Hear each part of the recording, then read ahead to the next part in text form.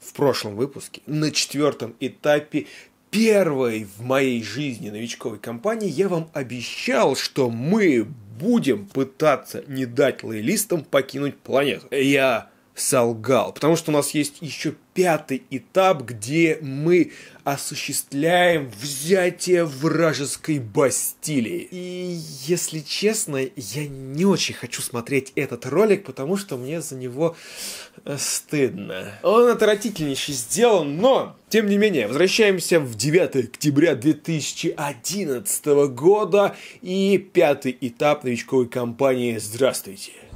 Сегодня у нас праздник, мы штурмуем цитадель.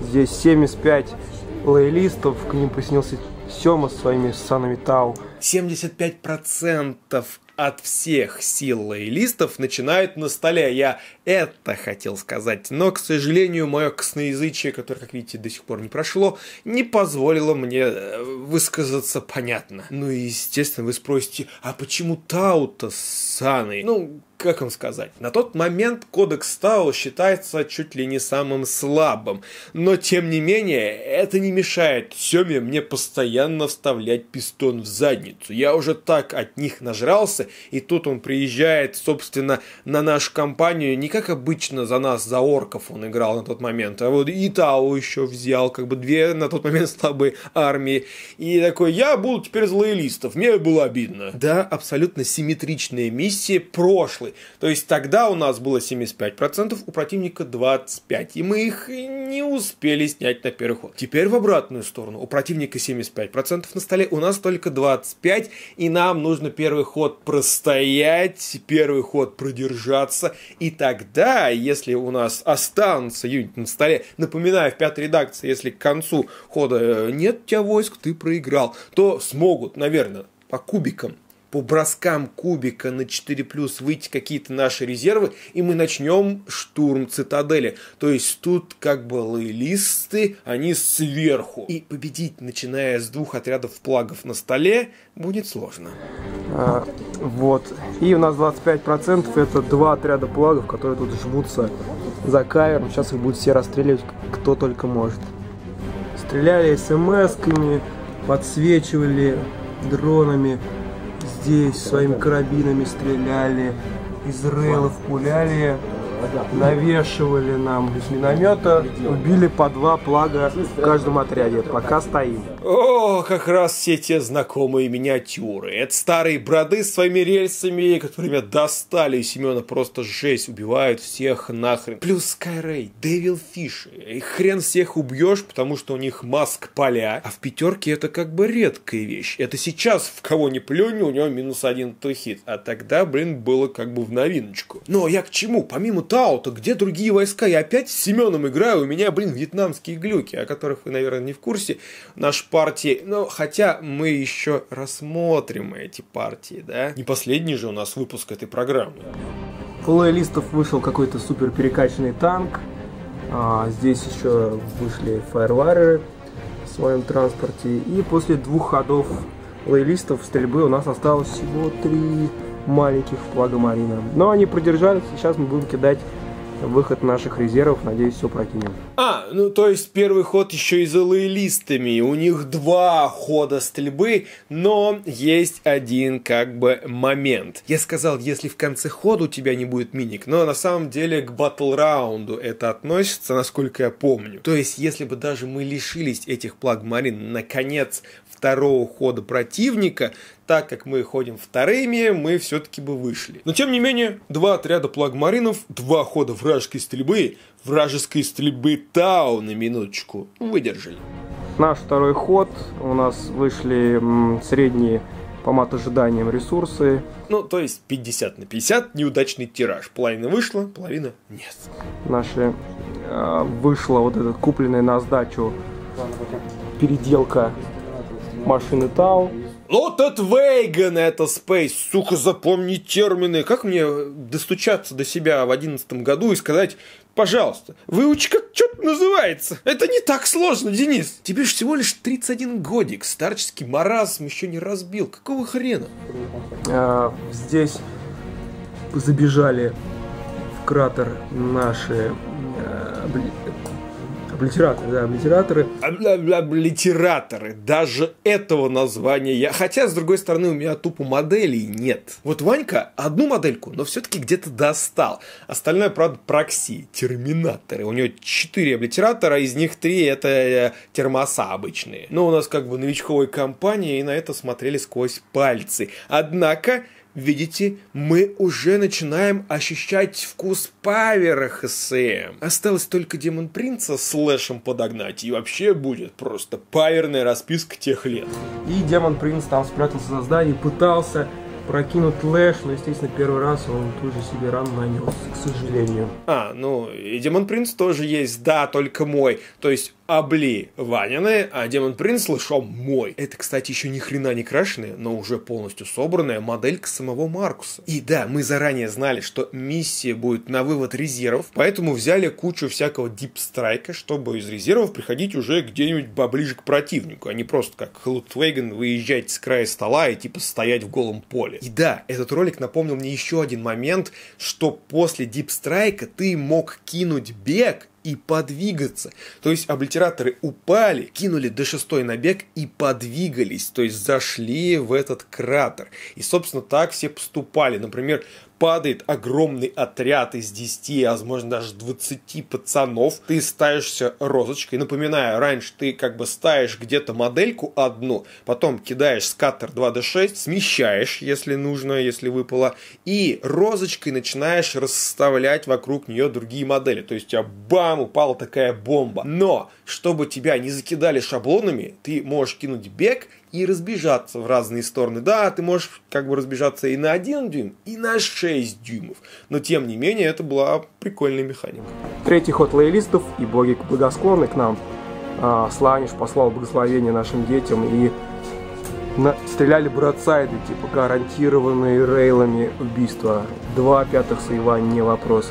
Словили, правда, от сикеров сраных две раны. Это последняя рана на нашем Демон Принце. А Рейлган, по-моему, был десятой силой. То есть Демон Принца, если у него пятая тафна, я не помню ни хрена, он должен был заинстить. То есть в пятерке модельки с более чем одной раной это редкость. Вот Демон Принц, например, по-моему, 4 раны или 3. Скорее все-таки 4. Но у оружия нет параметра damage. То есть и болтер, и э, лазерная пушка наносит только одну дырочку. Однако, если сила оружия в два раза больше, чем стойкость, то неважно, сколько у тебя ран, ты сразу погибаешь, если провалил сейф. Однако у Демон Принца, по-моему, был Eternal Warrior правило, которое как раз инсту и игнорировало. Блин, столько вообще, зачем я все это помню? Пятерка была хрен знает когда, а я все еще в этих подробностях. Короче, Демон Принц выжил чудом. Я как-то тупо его скинул без какой-либо поддержки. Кстати, его нельзя было прикрыть, как сейчас. То есть даже если рядом какой-то отряд был,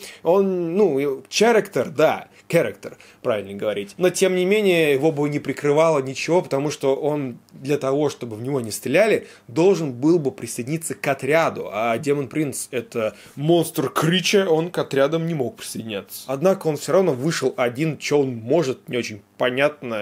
Ну, не умер, и слава богам. По этим парням никто не стрелял, боялись. И дедушка Нургал защити, защитил последних трех плагов живы. И наш э, Лутед Вейган всего лишь не может двигаться и стрелять. Ха-ха-ха. Ну, такой себе на самом деле. То есть на ход его отключили, и он ничего не будет делать.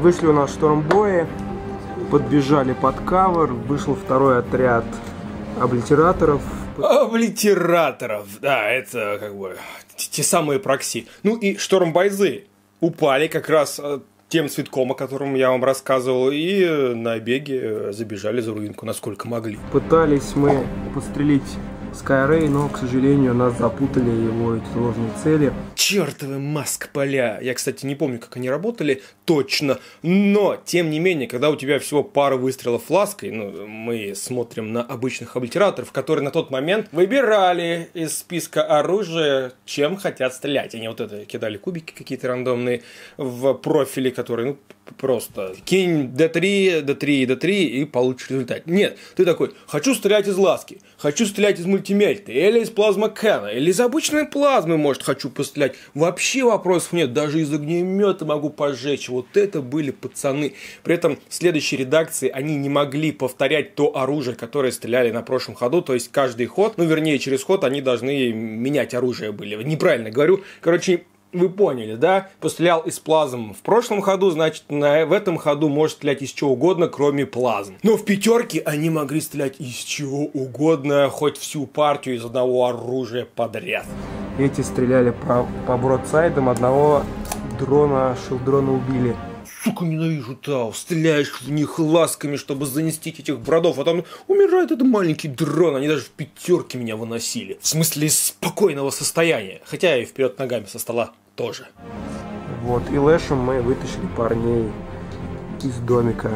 Lash of Торминс, по-моему, было такое заклинание усланишь. Ты, типа, скастил его. Раньше просто кидал два кубика, тебе нужно кинуть меньше, чем твой лидак, у твоего псайкера. Ну и также на два кола и на две шестерки перила. Потом, в зависимости от того, вышел факт к этому моменту или еще нет, на тот момент не вышел, тебе нужно было попасть демон принцем или не попадать. Просто, типа, скастил и можешь двигать модельки на 2D6 в любую сторону. И в чем суть-то Лэша была? Ты, как бы, Лэшем цепляешь отряд, э, его собираешь в кучку, и твои облитераторы накидывают туда маленькие шаблоны от плазма Кэннонов. Тогда плазма Кэннон стреляла типа маленькими шаблончиками. То есть большие пушки стреляли большими шаблонами, а всякие такие маленькие, как плазма Кэннон, маленькими. И если у тебя шаблоны эти не ушли далеко, то получалось ты прям в эту кучу туда а сколько ты задел шаблоном, столько ран и приходит в отряд. Ну, вернее, столько кубов на пробитие ты кидаешь. И именно этим и был страшен этот Обли Лэш.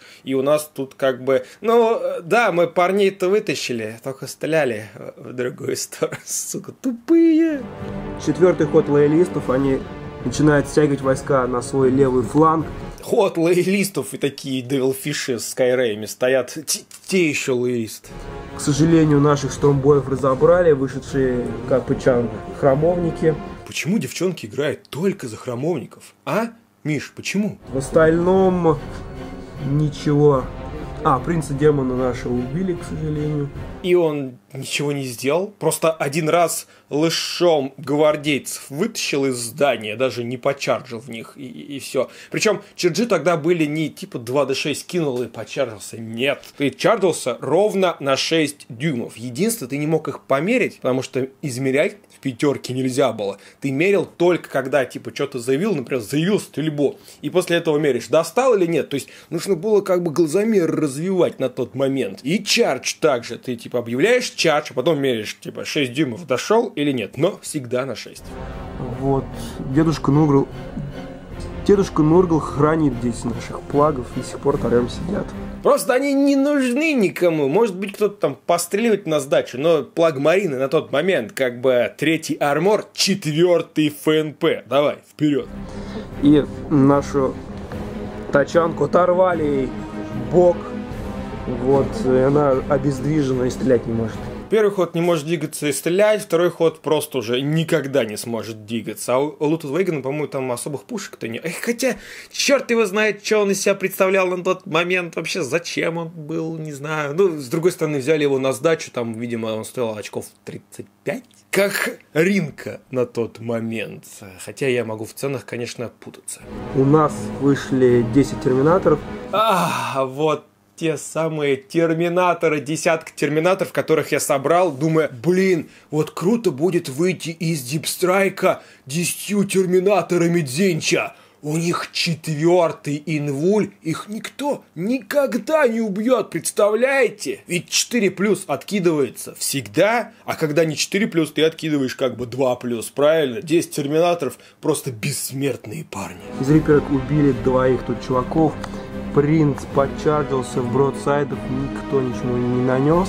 А вот этот демон принц Нургла, которым играл Ванька, ну он вообще за Death Guard, у него все Death Guard, он как-то под радарами прошел, да, то есть там был мой демон принц Слаанеш, мы его видели, он умер, а этот откуда взялся? Он должен был, очевидно, прибыть из deep strike а на прошлом ходу, потому что он не мог charge иться из deep strike а, естественно, и когда это произошло. Я же говорю, я, мне стыдно за этот ролик. Тут вообще все косноязычие, очень все коротко, ни хрена непонятно. Без моих комментариев, наверное, просто борщ какой-то.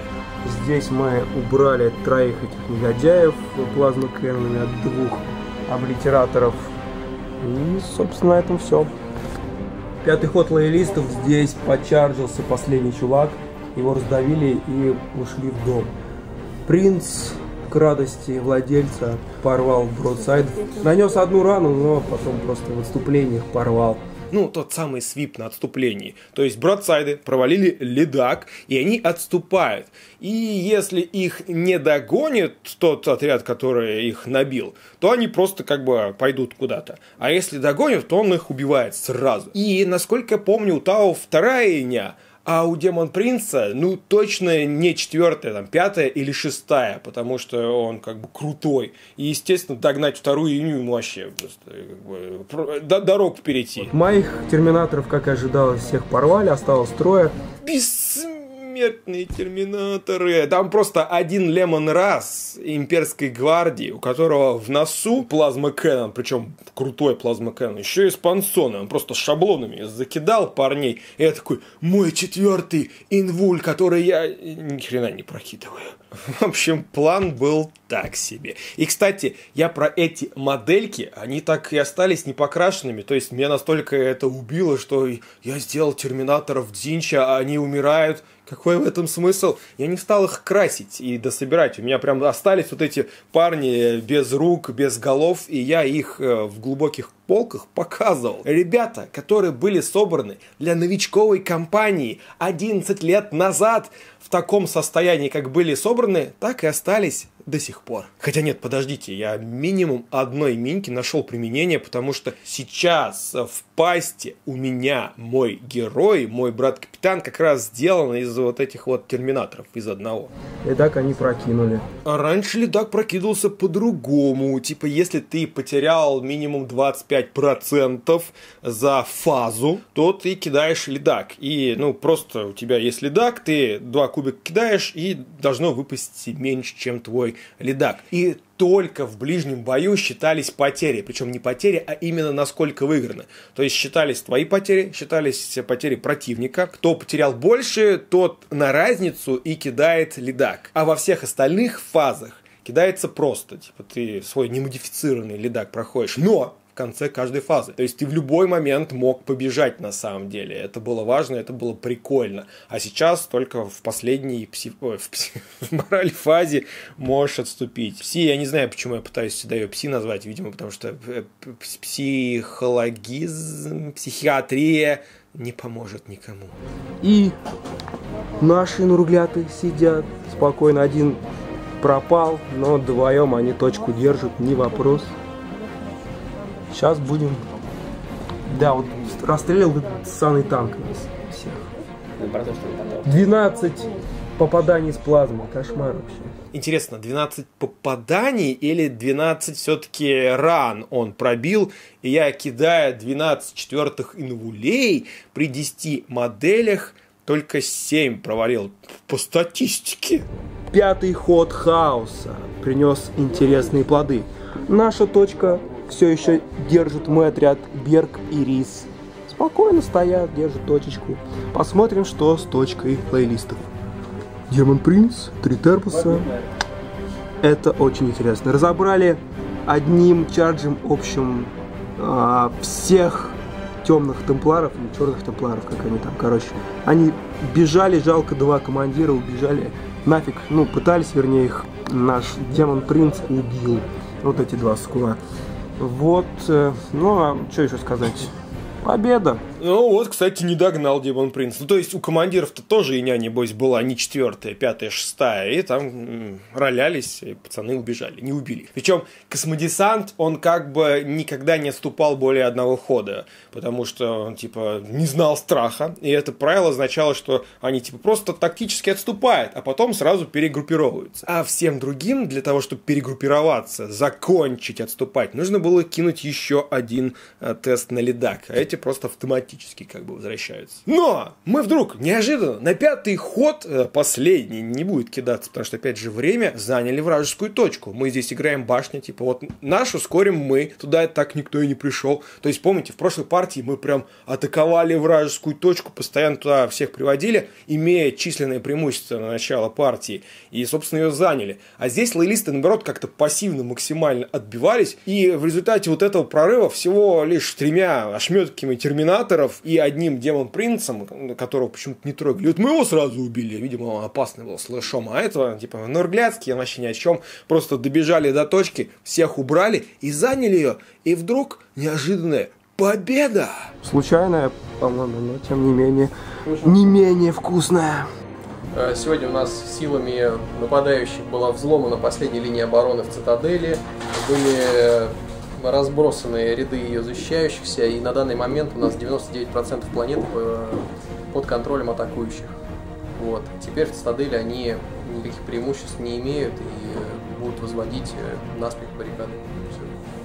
Вот это да, вот такое уже можно обсуждать. Да, максимально нелепая победа, но тем не менее, вот как в Warhammer е, только наоборот. Обычно же это хаоситы, превосходят числом и злобой, а лоялисты там из последних сил, последним каким-то героем там как-то все-таки за score ивают точку и все. Как, ну, как собственно, завещал нам император человечества, и выигрывают. А здесь как бы наоборот произошло. Не зря я всю эту компанию называю хаситов силами добра, а лоялистов силами зла. И вот следующая, по идее, партия, если опять ничего не забыл, как раз будет заключаться в эвакуации лоялистов с этой планеты. Приходите через пару неделек, мы эту компанию все-таки первую мою новичковую добьем. А на сегодня все. Берегите себя и свои миньки.